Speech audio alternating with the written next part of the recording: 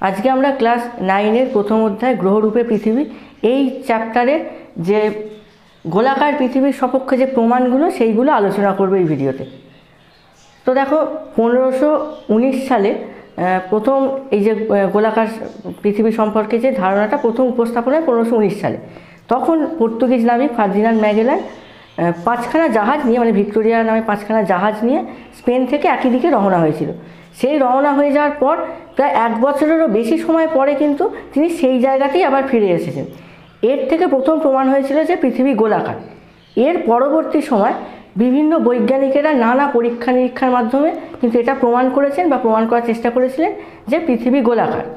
এবার এই পৃথিবী গোলাকার এই সপক্ষে আমরা মূল যে তিনটে গুরুত্বপূর্ণ পয়েন্ট বা গুরুত্বপূর্ণ পরীক্ষা সেইগুলো কিন্তু আজকে এখানে দেখে নেব। যেমন প্রথমে দেখো আমরা দেখতে পাচ্ছি এখানে রয়েছে কি? যে বেডফোর্ড লেভেল পরীক্ষা। এই পরীক্ষাটা কি আসলে? সেইটা আমরা এখানে আলোচনা করছি। আঠারোশো সত্তর সালে আলফ্রেড ওয়ালেস নামে একজন বৈজ্ঞানিক ইংল্যান্ডের বেডফোর্ড নদীতে একটি পরীক্ষা করেছিল। পরীক্ষাটা কেমন ছিল সেটা আমরা একটু দেখে নিই। তিনি কি করেছিলেন? তিনি তিনটে একই দৈর্ঘ্যের খুঁটি নিয়েছিলেন।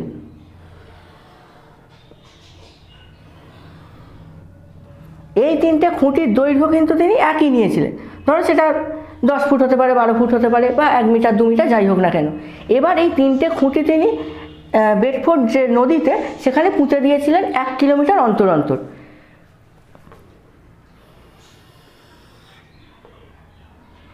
এবার পুঁতে দেওয়ার পরে তিনি এই, এইখান থেকে দূরবীন দিয়ে প্রত্যক্ষ করে দেখেছিলেন যে যদি পৃথিবীর সমতল হতো, তাহলে হওয়া উচিত ছিল যে এখান থেকে যখন তিনি দেখলেন যে তিনটে খুঁটির ওপরের যে উচ্চতাটা, সেটা একই হওয়া উচিত ছিল। কিন্তু যখন তিনি পর্যবেক্ষণ করলেন এটা, তখন কিন্তু তার ফলটা কিছুটা অন্যই এলো। তিনি তখন দেখলেন কি যে মাঝখানের খুঁটিটা কিছুটা এরকম ওপরে উঠে রয়েছে। যদি এইখানে সমতল হতো, এই বা এটা আমি অন্য একটা আঁকায় দেখিয়ে দিচ্ছি।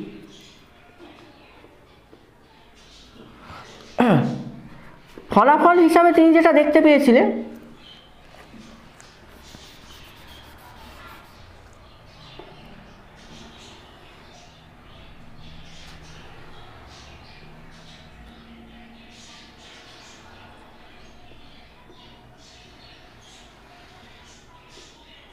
যে মাঝখানের খুঁটিটা তিনি যখন একই জায়গা থেকে দেখলেন মাঝখানে খুঁটিটা কিছুটা ওপরে উঠে রয়েছে।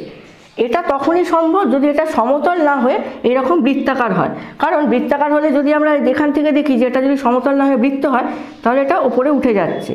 এবার যতটা এখানটা নিচের থেকে উঠে যাচ্ছে, সেইটাই তিনি ওবার ওপরে বেশি দেখলেন, যেটা আমরা এই ছবিতে দেখতে পাচ্ছি। তাহলে এই থেকে প্রমাণ হলো কি যে পৃথিবী পৃষ্ঠ সমতল নয়, পৃথিবী পৃষ্ঠ কিন্তু গোলাকার। এবার আমরা দ্বিতীয় প্রমাণটা একটু দেখে নিই।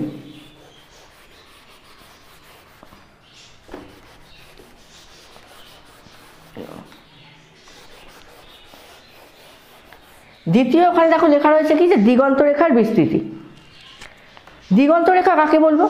পৃথিবীর এই যে মাটি বা ভূমি আর আকাশ যে অঞ্চলে, যে কাল্পনিক তলে বা রেখা বরাবর মিলিত হয়েছে মনে হয়, সেইটাকে আমরা দিগন্ত রেখা বলব। আমরা যদি ফাঁকা মাঠে দাঁড়িয়ে থাকি বা শহরে কোনো উঁচু বিল্ডিংয়ের ওপরে দাঁড়াই, তাহলে দেখতে পাবো কি আকাশটা মাটিতে কোথাও যেন মিশে যাচ্ছে। কিন্তু আমরা যেখানে মিশে যাচ্ছে, সেখানে যদি আবার পৌঁছাই, সেখানেও গিয়ে একই ঘটনা দেখব যে আরও দূরে গিয়ে আকাশটা কোথাও মাটিতে মিশেছে। তাহলে কিন্তু এটা আসলে আপেক্ষিক, এটা কখনোই সম্ভব নয়। তার মানে কি? যে যত আমরা এগোতে থাকব, ততই মনে হবে যেন আকাশটা আরও দূরে গিয়ে মাটিতে মিশেছে। এইটা হলো এই কাল্পনিক রেখাটাকে আমরা দিগন্ত রেখা বলব। এবার, পৃথিবী যদি সমতল হতো, তাহলে কি হতো? সেইটা আমরা একটু দেখে নিই। হ্যাঁ এখানে আরেকটা কথা বলার রয়েছে যে আমরা এইটা কিন্তু জানি যে যত উচ্চতা থেকে আমরা দিগন্ত রেখাকে দেখব, তার বিস্তৃতি তত বেশি হয়। আমরা কিন্তু এটা জানি। কিন্তু যদি পৃথিবী সমতল হতো, তাহলে কিন্তু এই ঘটনা ঘটার সম্ভাবনা থাকতো না। কারণ, হয়তো যদি পৃথিবীর তলটেরাম সমতল হতো, তাহলে আমি যদি এইখানের কোনো বিন্দু থেকে দিগন্ত রেখাটাকে দেখতাম, তাহলে এইখান থেকে এতটা দেখতে পেতাম। আবার যদি আরেকটু উচ্চতা থেকে দেখতাম, সেক্ষেত্রেও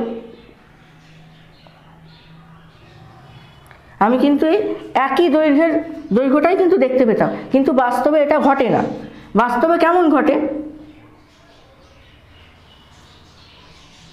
আমরা যদি এইখান থেকে দেখি, এইখান থেকে যদি আমরা দেখি যে গোলাকার পৃথিবী পৃষ্ঠের দিগন্ত রেখাটা, তাহলে এর স্পর্শক বরাবর আমরা দেখতে পাবো। এর স্পর্শক বরাবর দেখলে, এই বিন্দু থেকে দেখলে দিগন্ত রেখার বিস্তৃতি এইটুকু হবে। এবার যদি আমরা আরও উচ্চতা থেকে দেখি, তখন এর স্পর্শক টানলে,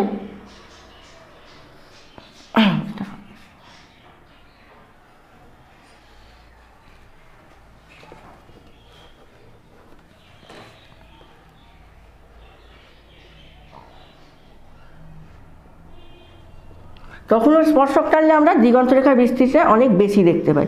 পৃথিবী গোলাকার বলেই কিন্তু দুটো ভিন্ন উচ্চতার জন্য আমরা দিগন্তরেখার বিস্তারটা অনেকটা বেশি দেখতে পাচ্ছি। কিন্তু যদি সমতল হতো, তাহলে কিন্তু যত উচ্চতাতেই আমরা উঠি না কেন, দিগন্তরেখার যে বিস্তারটা বা দৈর্ঘ্যটা কিন্তু একই থাকতো। এবার আমরা তৃতীয় পরীক্ষাটা বা তৃতীয়টা একটু দেখে নিই। ওখানে দেখো রয়েছে যে চন্দ্রগ্রহণ। একটা কথা আমরা জানি যে পৃথিবীর মানে কোনো যদি গোলাকার বস্তু হয়, তার ছায়া সবসময় গোল হয়। এবার চন্দ্রগ্রহণের ক্ষেত্রে কি হয়? পৃথিবী গোলাকার বলে পৃথিবী পৃষ্ঠের যে গোলাকার অংশের ছায়াটা কিন্তু চন্দ্রগ্রহণের সময় আমরা গোল হিসাবে দেখতে পাই। এই গোলটা কতকটা ধরো এই রকম, চাঁদের মানে চাঁদের বলতে মানে কাস্তের মতো হয়তো রয়েছে। কখনো কিন্তু বা এটা আস্তে আস্তে ধীরে ধীরে বাড়তে থাকে বা কমতে থাকে। কিন্তু কখনো আমরা এইটাকে এই রকম সোজা দেখতে পাই না। যে এটা সরাসরি একটা সরল রেখায় কিন্তু কখনো দেখতে পাই না। এর ভিতরের দিকটা সবসময় কিন্তু বক্ররেখা হয়। এর কারণ হচ্ছে পৃথিবী গোল বলে পৃথিবীর যে ছায়াটা পড়ে যেহেতু গোলাকার বস্তুর ছায়া গোল হয় তাই আমরা চাঁদের চন্দ্রগ্রহণের সময় চাঁদের ওপর যে ছায়াটা দেখতে পাই সেইটা কিন্তু এরকম গোলাকার হয়। যদি সমতল হতো বা চৌকো হতো সমতল হলে তো কোনো কিছু দেখা যেতই না।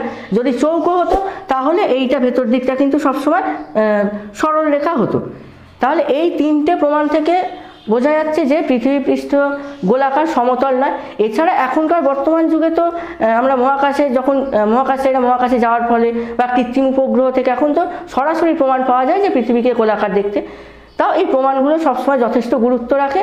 তাহলে এই প্রমাণগুলো কিন্তু তোমাদের অবশ্যই ভালো রকমভাবে করতে হবে।